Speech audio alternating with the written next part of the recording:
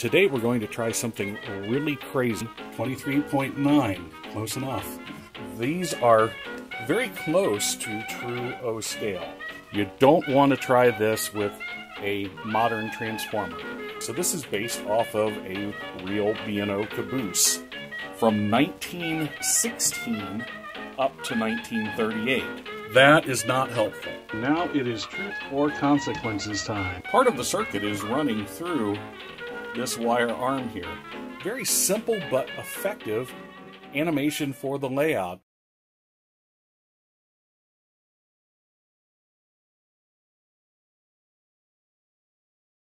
All right, so let's talk turnouts.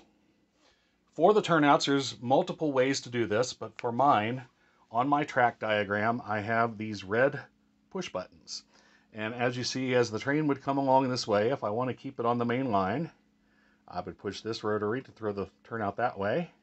Or if I want to come into the yard, I press this one to throw this switch this way.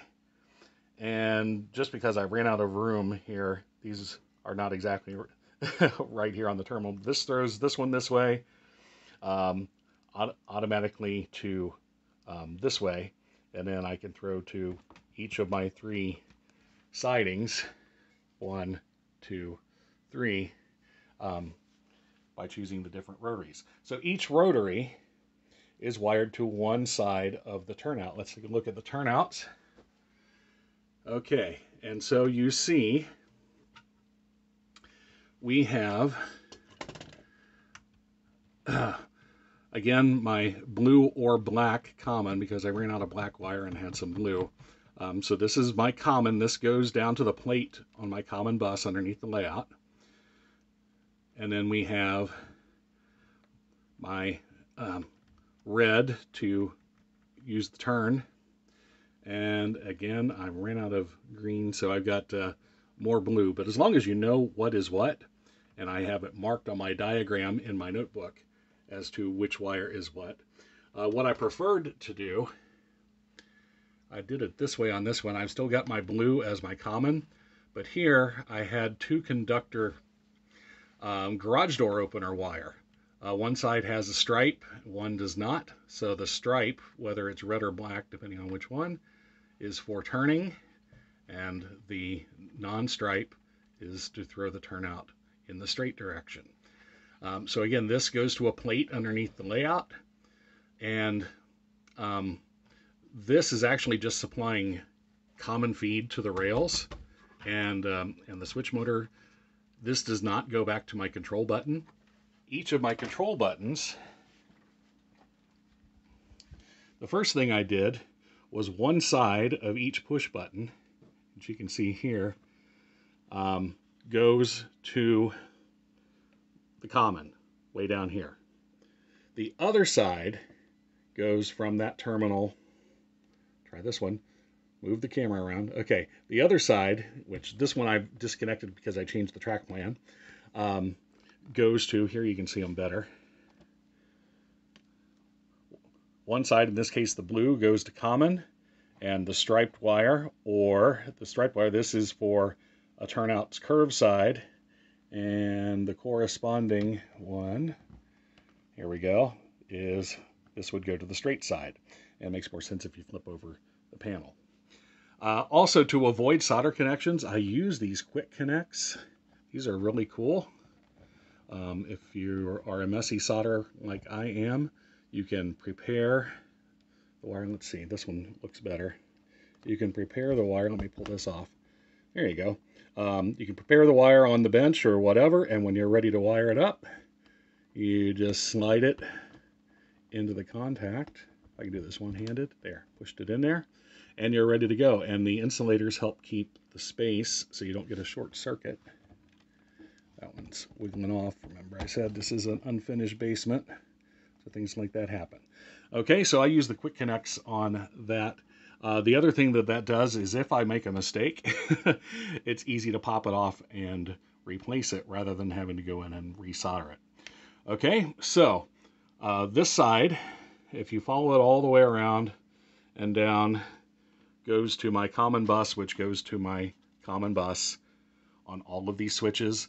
And then each of the other side, go down here, go to this terminal, which says turnouts. And again, which one is which, I have it marked in my handy notebook.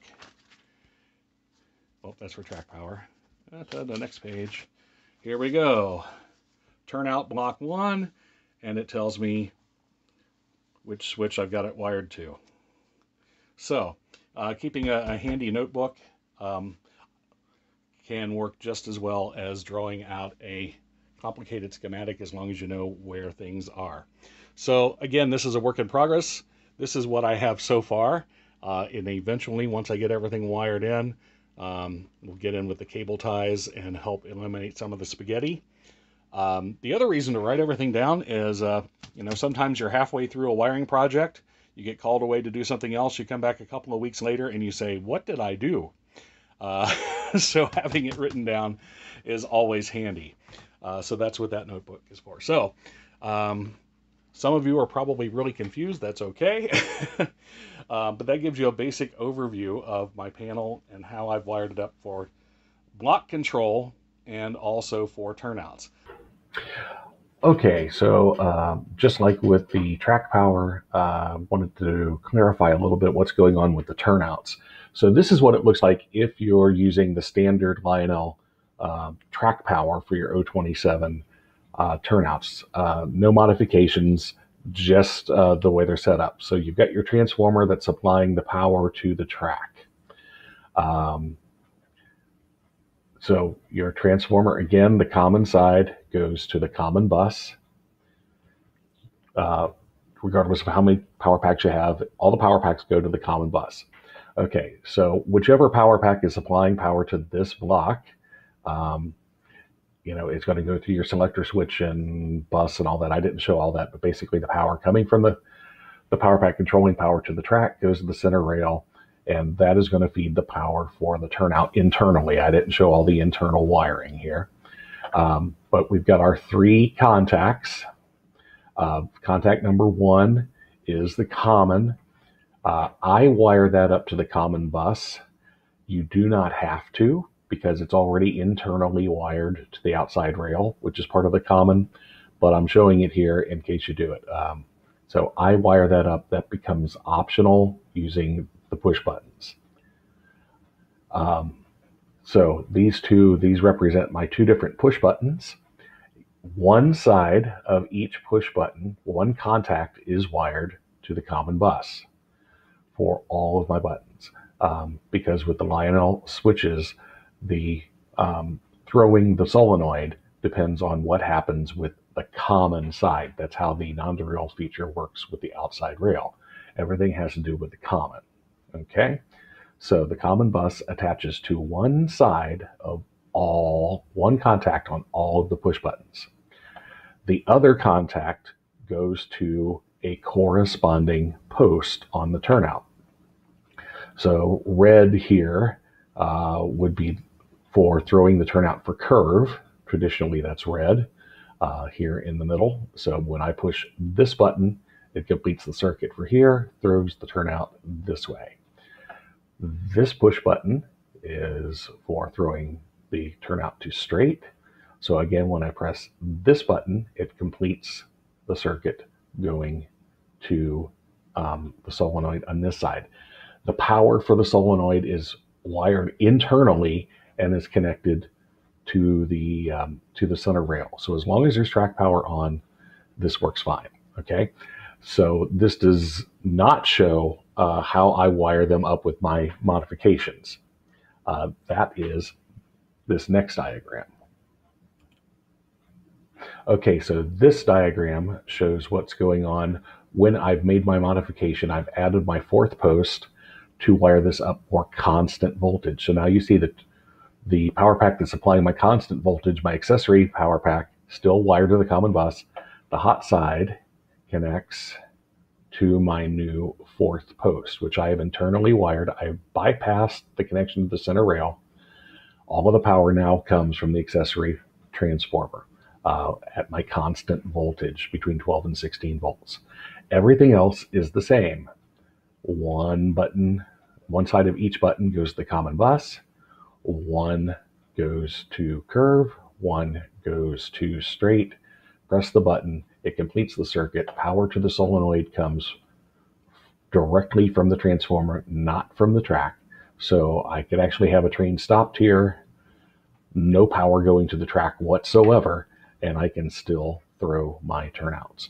So again, I hope this helps. Um, and uh, that's the two different ways that I wired up. You may do it somewhat differently, um, but um, but that's gives you the basic idea of what I'm doing. So so I hope this helped, um, and uh, I'll show you more progress as I get more done uh, from time to time. But this is the basic of my control panel, how I'm making it work, and uh, hopefully there's some ideas in there for you. Obviously, yours will be completely different because your layout will be different than mine. Um, but uh, like I said, you know, some of the principles apply from one to another. So until then, if you like the video, um, well, please like it, subscribe, share, tell your friends, tell your neighbors, and, uh, and be sure to come back next time. And until then, let's keep the trains running.